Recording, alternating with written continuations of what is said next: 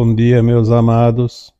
Hoje é quarta-feira, dia 4 de setembro de 2024.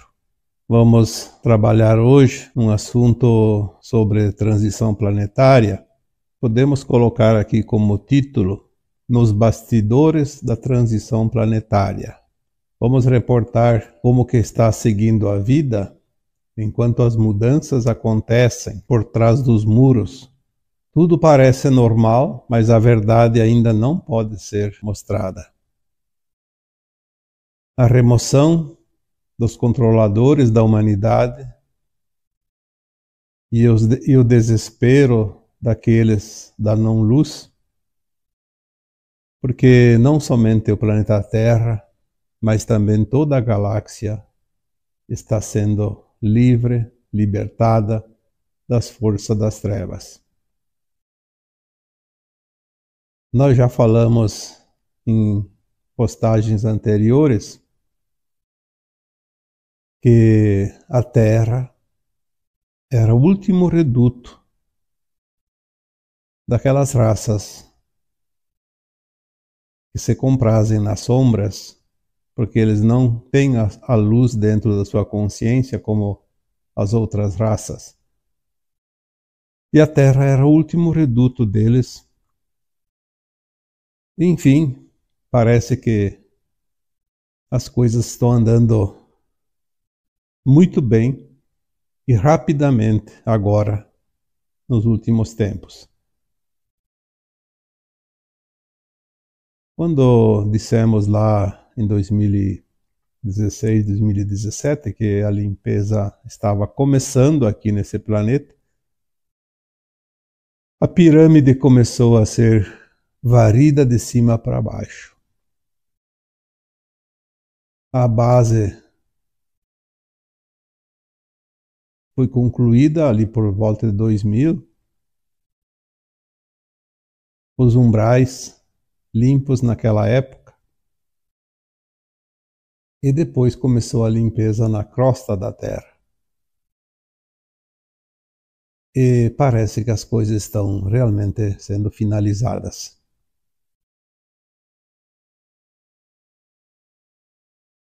Para que nada aconteça de ruim para a humanidade, é preciso seguir um plano da luz que foi traçado. Ao longo dos tempos, pelo menos nesse último século, a fim de que não houvesse retaliações que pudessem provocar danos prejuízos desnecessários para a humanidade da Terra. A humanidade da Terra ela é composta basicamente pela raça adâmica, uma raça amorosa, benevolente, que aqui veio a fim de experienciar a vida num ponto muito distante, talvez o ponto mais distante da fonte criadora, onde há quase ausência de luz e há quase ausência de consciência, que envolve um fractal de alma, minúscula consciência da nossa mônada, e fazer as experiências, criar na quase ausência de luz.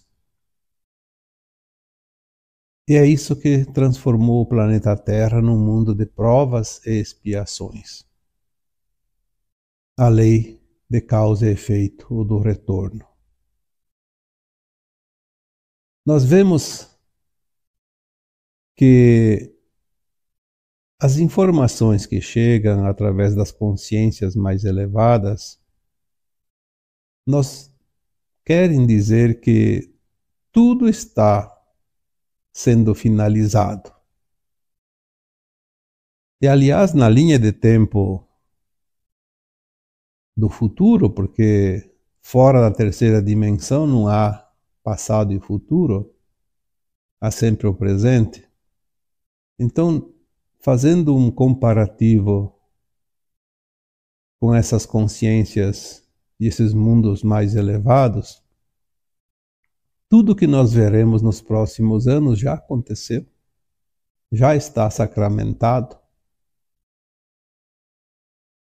É como um filme que foi feito as gravações, os cortes, e agora está concluído, está pronto para a estreia. Já está sacramentado. Tudo já aconteceu, tudo já foi encenado. É através deste tipo de comparação que as mensagens que chegam via canalizações nos mostram que tudo vai de acordo com esse plano que foi estipulado pelo Criador há muito tempo. Nada e ninguém pode impedir uma transição planetária. Nada e ninguém pode impedir que as almas que desejam ascensionar o façam. Para que não houvessem dor e sofrimento desnecessários para aqueles que nada têm a ver com essas definições, porque há a grande batalha entre a luz e a sombra. E os humanos normais, comuns, como se diz, nada podem fazer porque não é tarefa deles participar dessas contendas finais. Mas poderia sobrar respingos desta queda de braço e trazer grandes prejuízos, dor, sofrimento para toda a humanidade da Terra. Então, aos olhos de quem não está vendo o que acontece, por trás das cortinas, parece que o mundo segue aquilo que é chamado de normalidade. Aparentemente tudo segue como se nada estivesse acontecendo. Até porque as notícias e as informações que hoje são divulgadas, principalmente através das mídias, elas são muito contraditórias e ninguém sabe o que é verdade o que é aquilo que é passado de acordo com os interesses de alguém. Por isso, muitas vezes é dito que devemos ouvir mais a nossa consciência, a nossa intuição e a nossa voz interior que é a voz da nossa alma. Porque na medida que chega a influência da luz adamantina, que agora vem através do Sol, a nossa consciência está se expandindo. As nossas memórias estão sendo apuradas e o conhecimento interno ele se expande e ele é verdadeiro.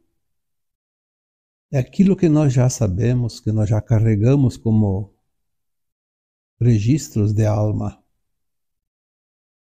Daqui a pouco ninguém mais precisa te contar nenhuma notícia.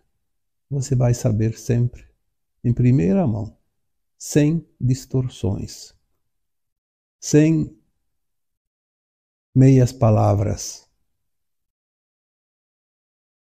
E assim nós vamos conhecer de fato a verdade, porque o Apocalipse, que vai trazer a verdade, nada mais é que as revelações daquilo que estava oculto. E a vida parece seguir normal porque é assim que deve ser.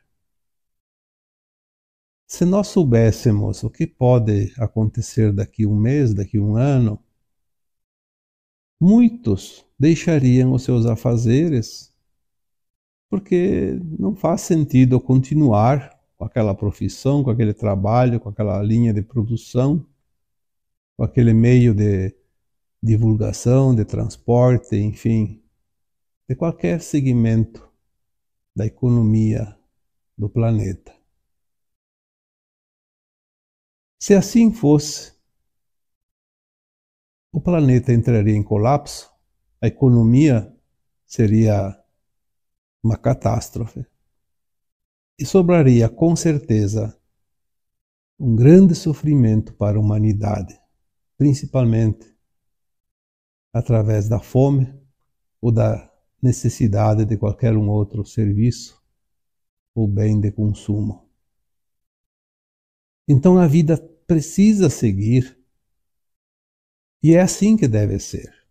Quantas vezes dissemos nos nossos textos, nos nossos, nos nossos áudios, faça hoje o que tem que ser feito hoje. Amanhã é outro dia. De acordo com o que vai acontecer amanhã, ou depois de amanhã, ou mês que vem, ou ano que vem, podemos ir mudando também a nossa vida. Podemos mudar as nossas atividades, as nossas projeções, as nossas futuras conquistas, enfim, tudo aquilo que nós projetamos para o dia de amanhã. Mas enquanto não sabemos o que vem, vamos fazer hoje aquilo que tem que ser feito hoje. O que está acontecendo além dos muros da nossa visão, do nosso entendimento, é tão grandioso e tão profundo que nem teria como a maioria compreender. Isso também colocaria em risco o plano divino, porque é óbvio que se a luz ganha um território, a sombra precisa perder esse território. E esse conflito ainda não está terminado. Ele ainda não está consolidado. Então, a vida segue aparentemente um faz de conta. Quando nós falamos há bastante tempo que a linha de tempo da Terra mudou em 2010 e nós deixamos definitivamente para trás aquela linha de tempo do Armagedon que estava projetada para este final de transição planetária foi um grande alívio, não somente para a humanidade, mas também para as forças da luz que aqui estão para nos auxiliar.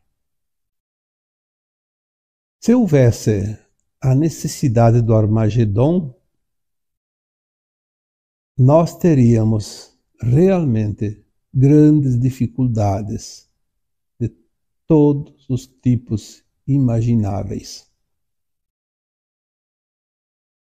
Provavelmente, provavelmente, aquela parcela da humanidade que está pronta para a alma ascensionar, para um mundo de regeneração, e sair definitivamente de um mundo de provas e expiações.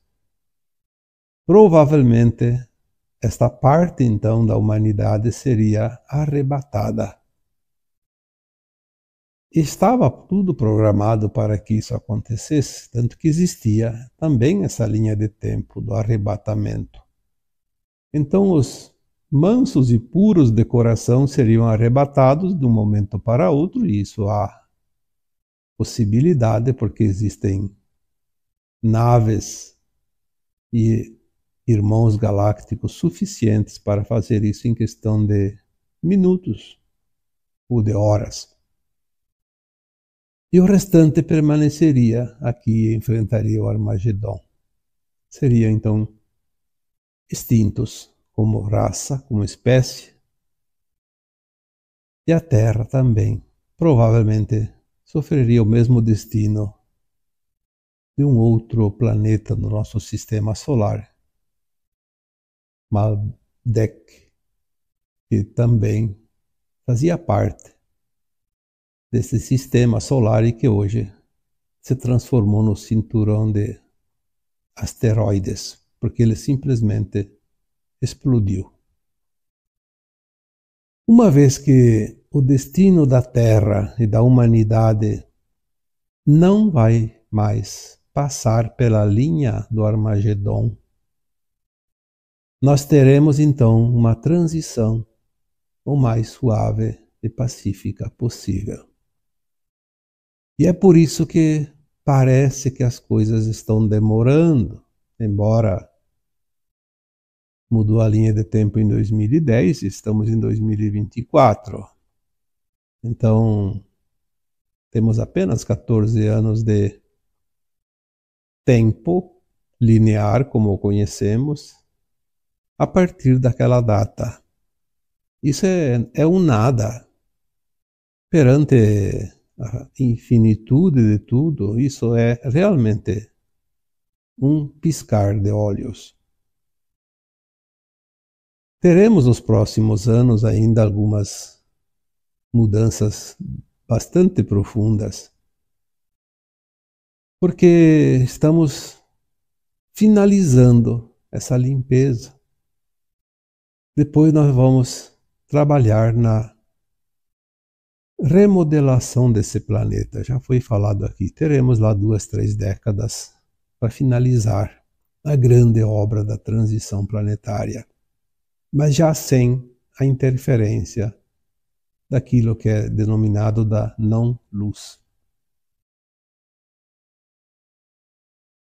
Enquanto isso, tudo deve parecer normal. Porque o grande trunfo das sombras é a energia negativa emanada pela psique do coletivo humano. E tudo, tudo o que a não-luz quer é produzir essa energia que dá uma sobrevida para esta parte da humanidade encarnada, que são os representantes das raças híbridas, porque é preciso que tenha aqui nos comandos é, representantes das entidades que não podiam e não tinham permissão para encarnar neste planeta. Já falamos aqui em edições anteriores sobre tais raças.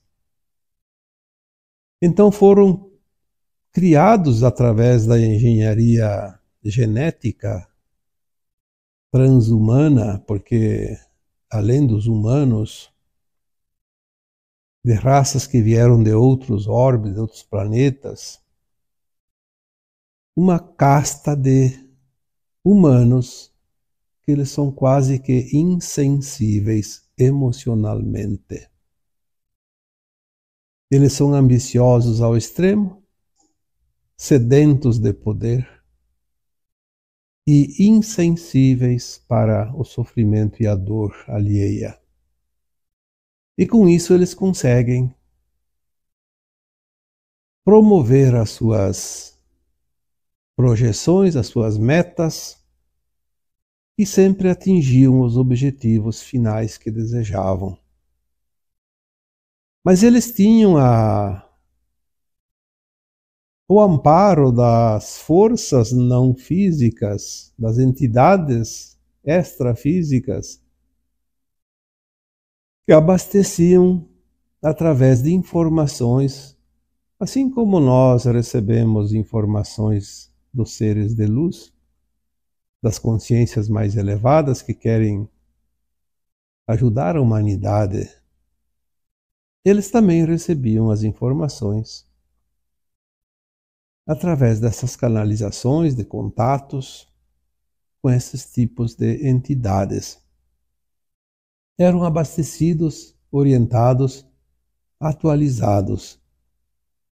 Uma vez removidas essas entidades, os encarnados que são os seus representantes legais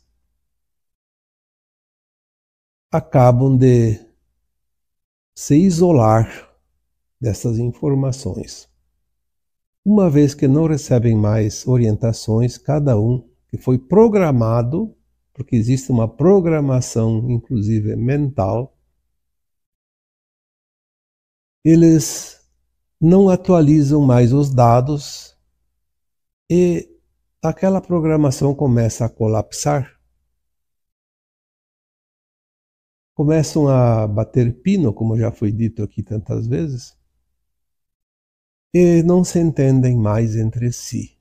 E é por isso que lá em 2022 foi dito também, através de uma informação que chegava na época, que o sistema se destruiria por si só.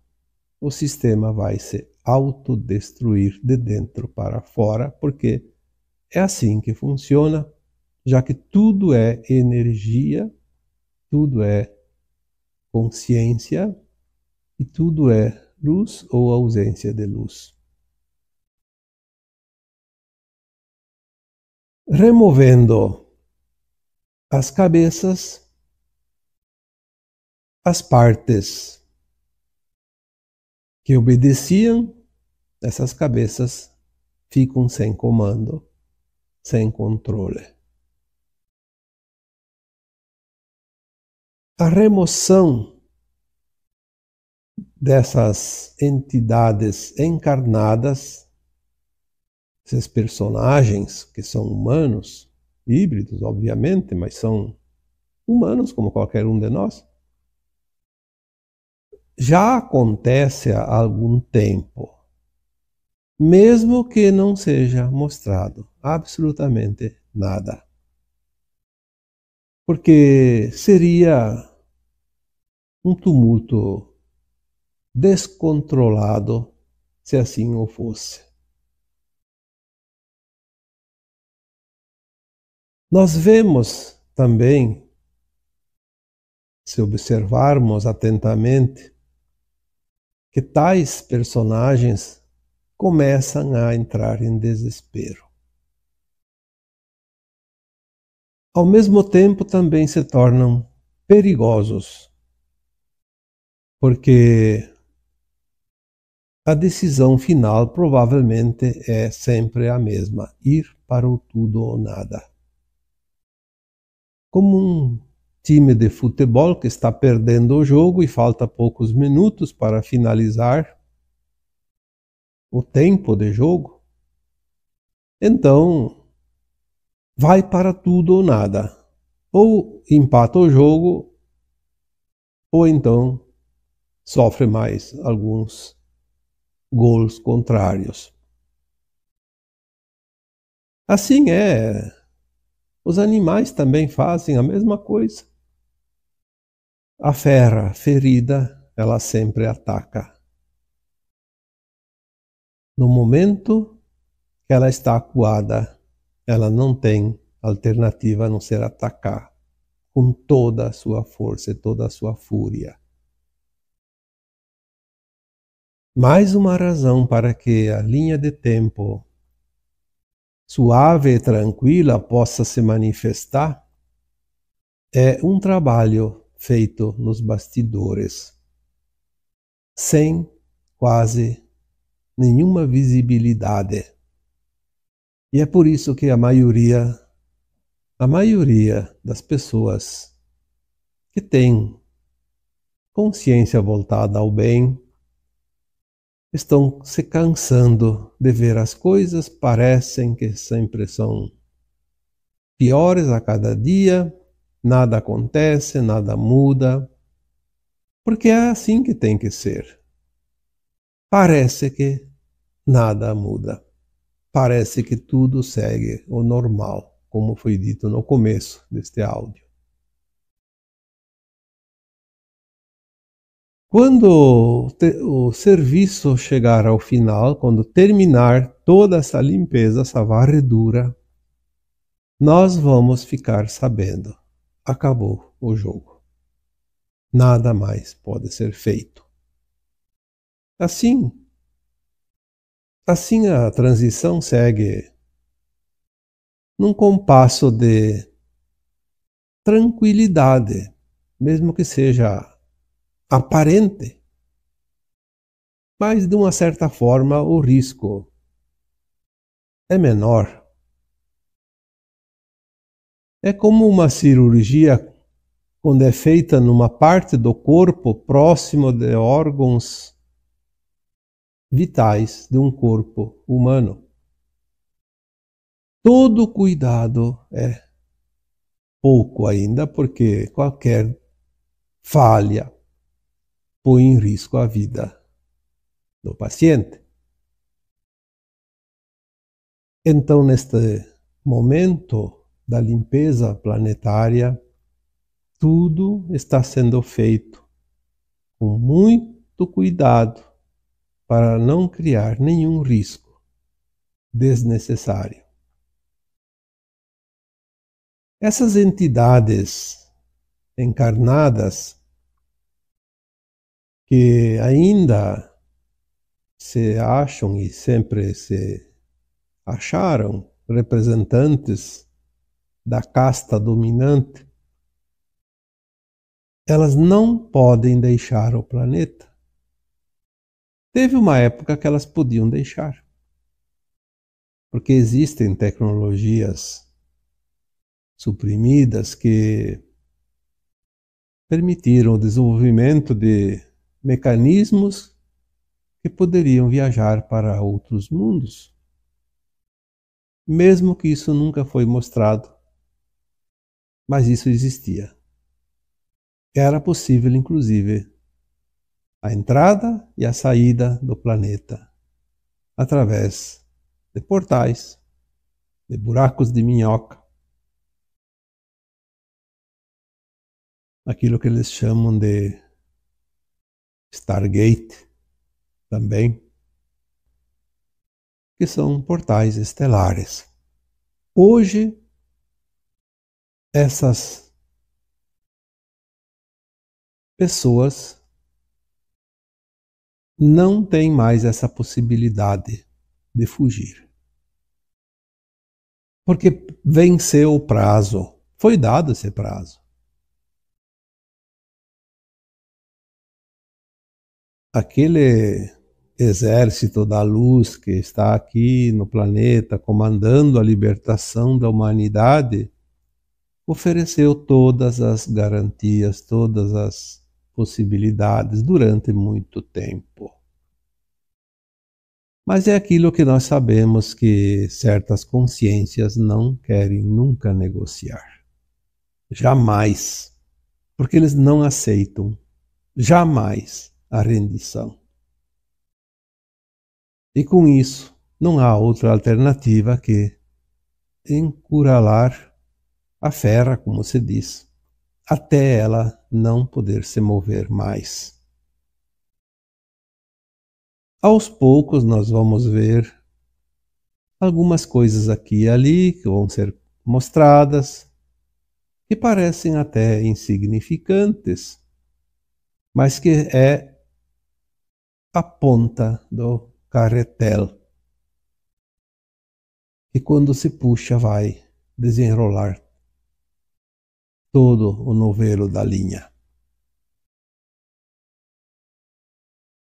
A galáxia está sendo limpa definitivamente das forças da não-luz. Das trevas, como nós gostamos de falar, que é mais fácil de entender. A Terra foi o último reduto deles nesta galáxia. Liberando a Terra, liberta-se todas as estrelas, planetas e luas desta galáxia Via Láctea. Por isso, nós precisamos confiar. Um plano tão grandioso que envolve o nosso planeta interessa também a toda a galáxia. Isso nos dá um conforto, porque é a certeza também de que não estamos sozinhos e que o plano divino para os mundos não vai falhar por causa de um planetinha mínimo como é o planeta Terra perante não se sabe quantos, mas algumas informações dizem que a Terra, a, a galáxia tem 400 bilhões de estrelas. Seja lá um número maior ou menor, também não faz muita diferença, mas é uma quantidade exorbitante de estrelas. Provavelmente outro, tanto de planetas e outro tanto de luas, porque são também orbes e estão ali girando nesse movimento espiralado que conhecemos. Uma vez a Terra sendo liberta, finda todo o reino das trevas nesta galáxia Via Láctea.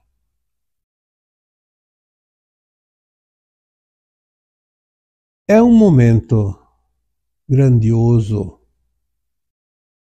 tão grandioso que a nossa consciência não tem como entender. Pela sua limitação, é impossível compreender esse plano divino. Então vamos entender aquilo que ao menos nós conseguimos entender e confiar não vamos alimentar por mais tempo aquilo que não pertence à luz, através da emanação da nossa energia do medo. O medo é a grande arma que ainda está na mão dos da não-luz. O medo nosso, dos mansos e puros de coração. Nada vai acontecer que não esteja no plano divino. Você não passa aquilo que não precisa passar. Você não morre antes da hora que você mesmo estipulou antes de nascer, no teu plano de alma, a não ser pela vontade própria de se suicidar. Então, se isso é lei divina, por que o medo? Ninguém passa o que não precisa passar. Então você tem escolhas. Quando tem uma situação, compreenda essa situação e faça a escolha, a escolha correta. Você não vai passar dor, não vai passar fome, não vai passar por doenças, por privações, nada que você não precise passar se não está no teu plano de alma. Mas se está no teu plano de alma, você pode estar vivendo num paraíso. Mas você colocou lá que você ia estar num paraíso e ia passar fome, por exemplo. Ia ter dificuldades financeiras, ia ter problemas de relacionamento, ia ter alguma doença física. Sim, você escolheu. Então, não importa onde você esteja e a situação que você esteja enfrentando, você vai passar por aquilo que você colocou no teu plano de alma. E o que você colocou no teu plano de alma foi sempre para o melhor para você. a fim de que você pudesse ascensionar. A maior desgraça que pode acontecer para uma alma encarnada é perder a chance de ascensionar. Tudo o resto é passageiro, momentâneo, apenas para harmonizar frequências e energias. Mas a transição da Terra que possibilita agora a ascensão das almas, é preciso então ter a frequência da ascensão. Caso contrário, a alma não vai fazer a sua ascensão. O que é a frequência? É o seu estado de consciência. O seu estado de consciência ético, moral, voltado ao bem. Porque se não for assim, a ascensão não pode ser atingida porque ascensão ela é espontânea pela sua vibração e frequência. Nada e ninguém vai dizer quem é que vai ascensionar ou não vai ascensionar. Tem frequência, ascensiona, não tem, não ascensiona e pronto. Nós vamos ver agora, nos próximos tempos, rapidamente, o surgimento das tecnologias suprimidas ao longo dos últimos tempos porque muitas descobertas, muitos experimentos que trariam grandes vantagens para a humanidade foram suprimidos porque não atendiam os interesses econômicos de A, B, C, D, o alfabeto inteiro. Não dá lucro, não há interesse. Então, nós vamos ver tanta coisa que foi criada e não foi mostrada porque não dava lucro para o sistema. Aí teve em todos os lugares da Terra, em todos os países do planeta, leis, governantes e etc., que determinavam o que, que podia ser produzido, que da forma que era distribuído e, enfim.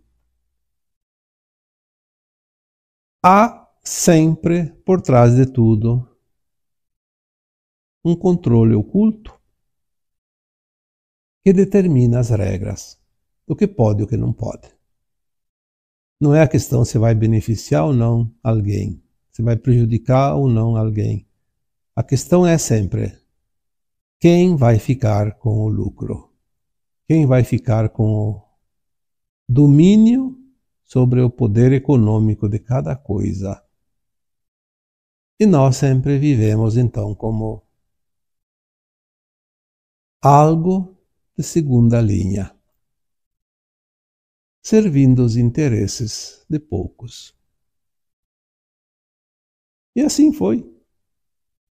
E tudo pareceu normal. Tudo pareceu tranquilo, porque foi se criando os hábitos que era assim. E as sociedades se organizaram desta forma, e sempre se trabalhou, se lutou pela sobrevivência. Uma vida inteira trabalhando e lutando pela sobrevivência. Típico de um mundo de provas e expiações.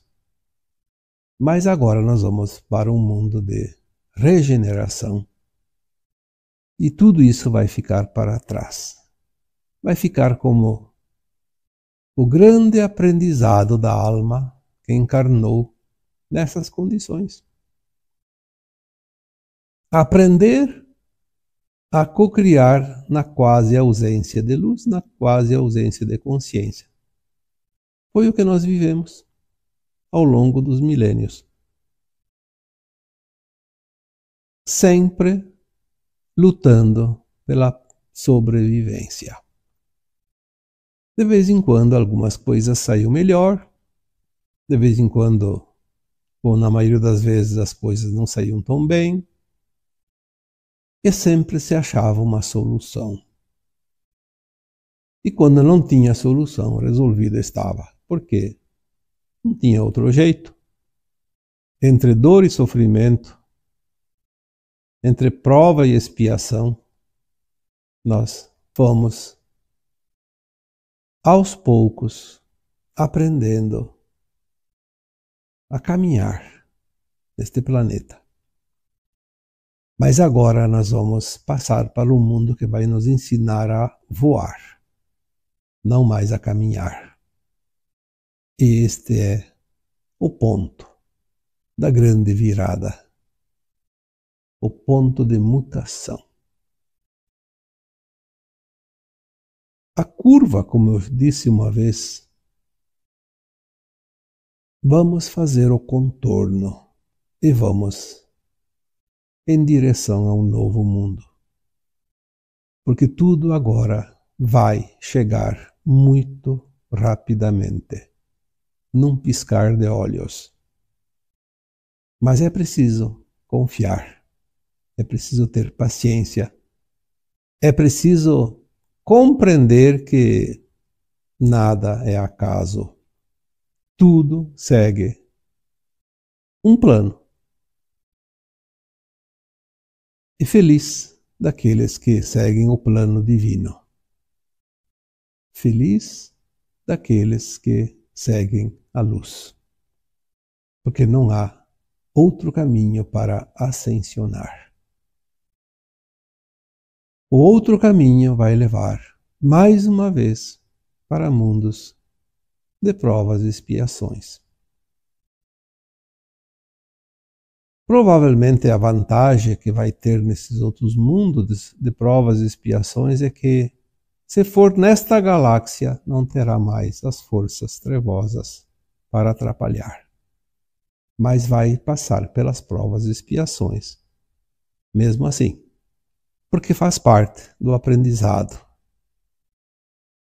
dessas escolas que existem para fazer experiências de como é criar na quase ausência de luz. Então vamos confiar e vamos nos manter firmes e fortes, porque agora as coisas vão, de fato, se acelerar. E sabemos que no final de cada prova, cada um dá o seu máximo, porque é a última oportunidade de conquistar algo. E agora eu vos deixo com o meu abraço de luz em cada um de vocês. Namastê.